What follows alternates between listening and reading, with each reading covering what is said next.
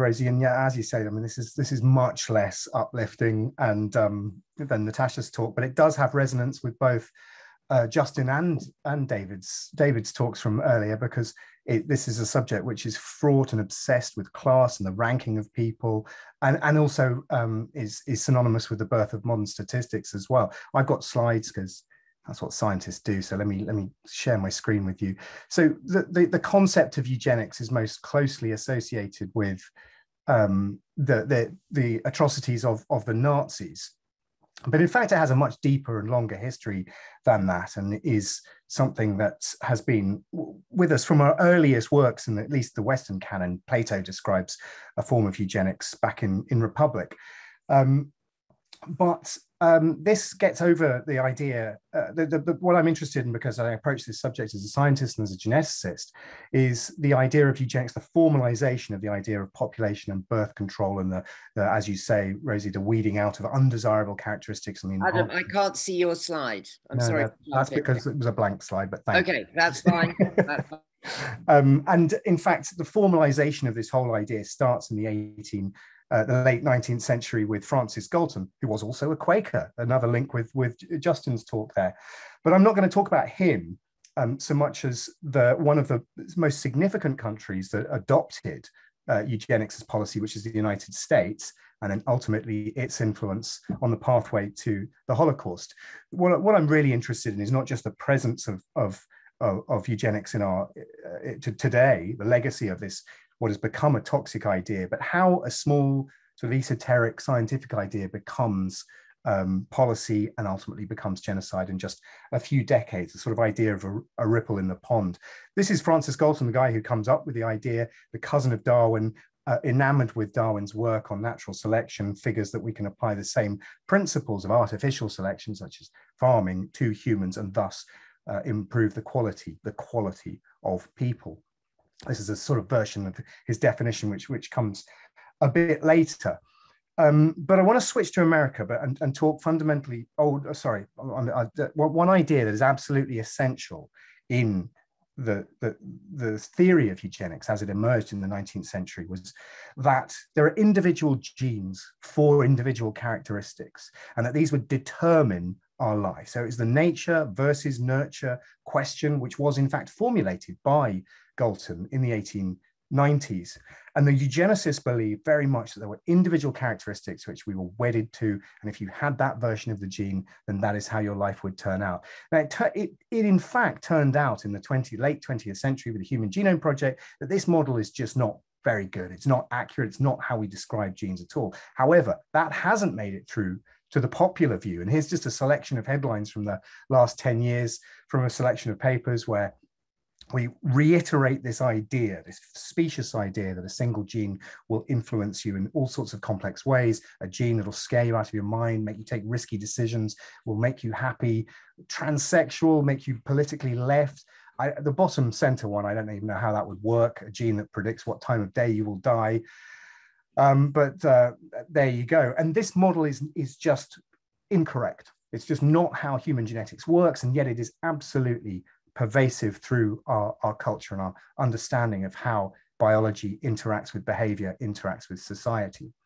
It was so fundamental to the eugenics movement I'm going to switch to America now and introduce Charles Davenport, who's the sort of equivalent of Francis Galton in America. In fact, met Francis Galton in the 1890s and transported and developed his ideas. I'll talk about H.H. H. Goddard in, in, in just a minute.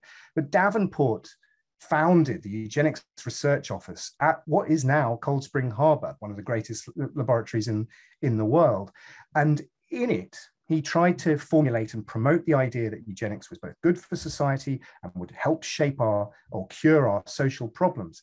But it was also something that he was obsessed was about was collecting pedigrees of people so that if you could work out the patterns of inheritance, just like Mendel and his peas a few years earlier, if you could work out the patterns of inheritance in families, then you could determine their characters and therefore you could identify the things that you wanted to enhance and the things that you wanted to remove from society. So this is a photo of Charles Davenport in the front row with a pointy beard. And he, what part of what the Eugenics Research Office did was train up people to go out into the field, particularly into rural areas. And just like with cattle and sheep shows at agricultural fairs, would encourage people to fill out forms um, uh, and would reward them with, uh, with, with medals and um, competitions, fitter family competitions. And this was the, the basis of them generating data that they would then use in the eugenics research office. This is one of their, their, their departments in order to construct these these pedigrees. They wanted to construct a pedigree for all Americans. So therefore they could identify the genes as they ran through families and therefore could apply eugenics principles to their work. And indeed they did.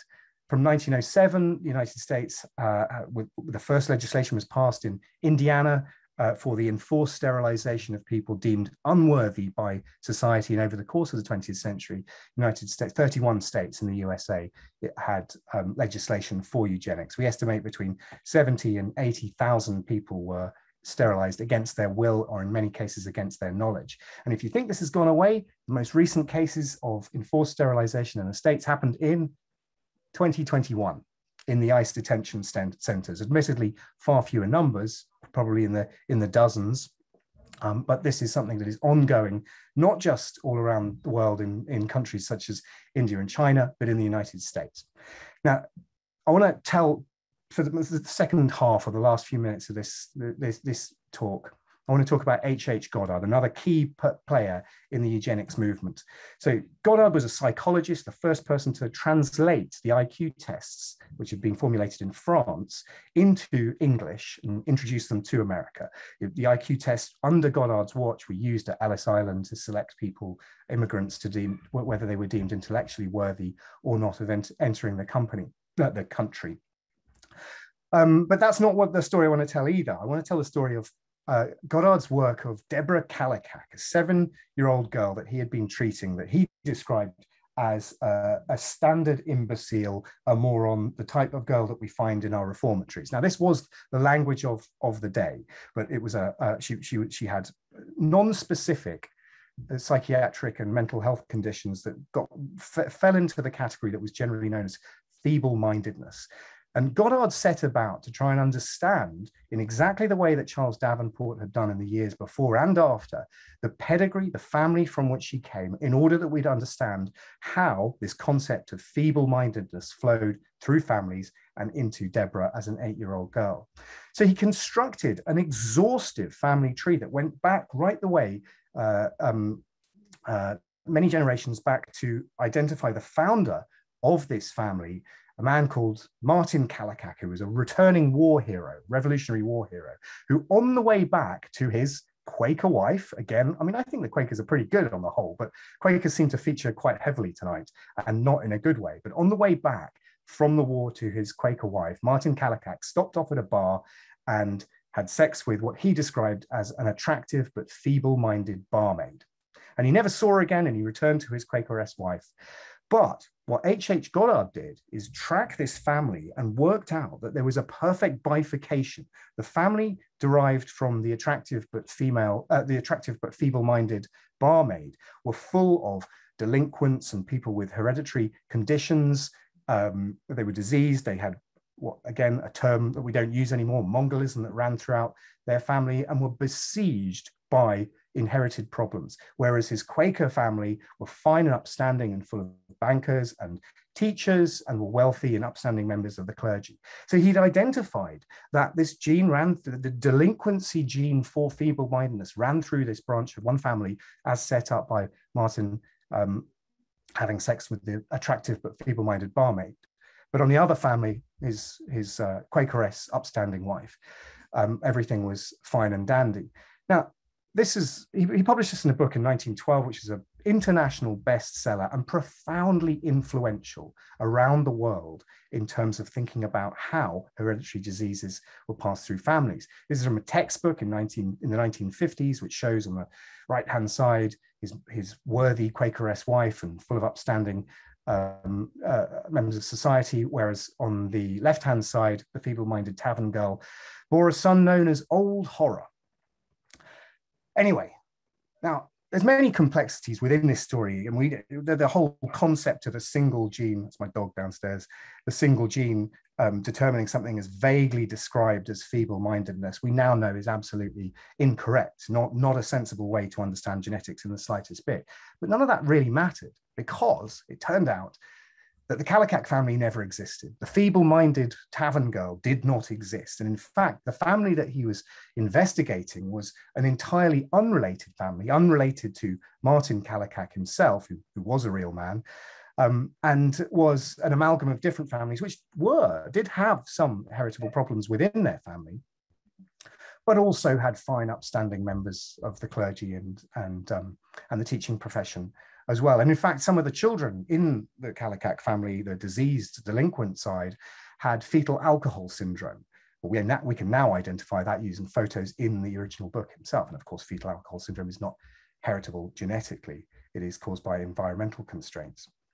So it was a fiction. It was, it was not something which was um, uh, correct at all. Uh, it was made up, and yet it was incredibly influential. Now, this is 1912. I'm going to cut immediately to Germany. And this is a tedious academic slide that I use in my lectures at UCL where I teach. But let's talk about eugenics in Germany for just a second, because it was formulated at the same time in the late 1890s and developed during the first two decades of the 20th century. Interestingly, not anti-Semitic in, in origin. In fact, the idea of Nordic purity was thought to be enhanced by mating with uh, um, Jewish people, Ashkenazi Jewish people, in, in order uh, to, to help Nordic people be more successful. 1920, the concept of lives unworthy of life, Lebenswert Leben, was introduced. And so this, this began the, the, snowballing effect that would culminate in the, in, in the po policies of the Nazis in, from 1933 onwards. But what a lot of people don't realize is that the, the, the development of eugenics policy in the States was profoundly influenced both intellectually and financially by the US uh, eugenicists, such as Charles Davenport and the Eugenics Research Office. The Rockefeller Foundation funded several uh, eugenics research offices in Berlin and around Germany until 1938. When Hitler came to power in 33, one of the first laws that he passed with his then absolute power was the enforced sterilization law, and it was directly translated from a law written by one of the members of the ERO, Harry Laughlin, in 1920. And 1939, Aktion T4 was implemented, which gave the framework for ultimately what would become the, um, uh, the termination of many, many millions uh, during the Holocaust. Now, the Nazis were adept propagandists. And in order to pass the 1939 law, Hitler said that he didn't think that people would accept these euthanasia and eugenics policies outside of wartime. And the 1939 Aktion T4 law was in fact backdated. It was signed in October 1939. It's backdated to the 1st of September, which is when um, the Allies declared war. In 1935, um, this, this film, a film was released, a 12 minute film that ran in front of most cinemas uh, most mainstream films in cinemas around Germany called Das Erbe. And Das Erbe means the inheritance broadly. And it's a short film in which a young female student is watching two stag beetles rut. And she calls over her professor, which is in the top right slide there. She calls over the professor and says, What's going on here? And he explains to her that this is nature. This is how Darwinian, the struggle for existence happens in nature, and shows her, sits her down and shows her a film which includes various things, some, some um, some stags rutting with each other, a cat catching a bird, and in the bottom left, a dog catching a hare. And they're sitting around watching this film and they're laughing, and the, the, the student suddenly gets it. And she, she clicks a finger and says, and says in German, Oh, I get it. Even nature has its racist policies. And they all laugh, and it's, uh, it, it's terribly amusing to them. Now, I'm going to show you a couple of minutes of the film. I hope this is going to work um, because it's very striking what happens next.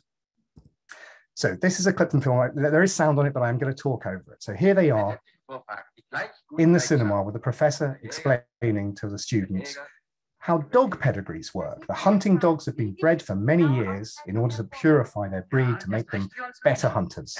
Now watch what happens now. Ein bekanntes Beispiel für die schrecklichen Folgen unüberlegten Handelns ist die amerikanische Familie Kallikak. Die Nachkommen des Leutnants Kalikak Aus seiner Ehe mit einer erbgesunden Frau waren alle gesund. So he's des- describing the Kallikak family tree in 1935, so 23 years after it was published. And on the right hand side, that Eb ge- ge- uh, gesunde Frau means sort of healthy, upstanding women, Kallikak 493 ein of them. voreheliches Kind mit einer geistesschwachen Frau. Auch aus dieser Verbindung entwickelte sich eine But there on the left, the Eb Nachkommenschaft. Frau, which sort of means uh, he- uh, hereditary ill women. And those black dots, the mark of the feeble mindedness pouring through the generations. Ein einziger erbkranker Ahne hat genügt, um eine große Nachkommenschaft unglücklich zu machen. Der erbgesunde Zweig der Familie Kalika hat 493 gesunde Nachkommen. Aus dem Erbkranken gingen 434 erbkranke Unglückliche hervor. Okay. Dies ist nur ein Beispiel von vielen Tausenden.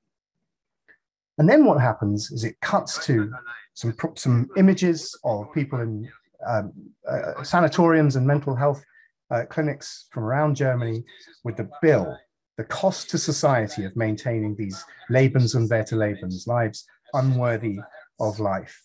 And then it finishes with a quote from Hitler himself, um, uh, which says, "Who is physically, uh, who is physically and mentally not healthy and worthy, may not perpetuate his suffering in the body of a child." Now, right, I'll just please stop that because it's absolutely horrific. Um, and I will stop sharing as well because I think I'm I'm going to finish there. But basically, this is uh, just a tiny nugget of what I'm really interested in, which is how ideas become normalized, how tiny scientific ideas are um, are co-opted, marshaled into political ideologies, and how a small esoteric academic idea can, in only the course of 40 or 50 years, result in a pseudo-scientific justification for genocide. That's where I'm going to end. Um, and I asked if I would not go last because that's such a miserable story, but it is an important story. And to understand the relationship between science and ideology is, is really where, where I'm best placed. So thank you. Gosh.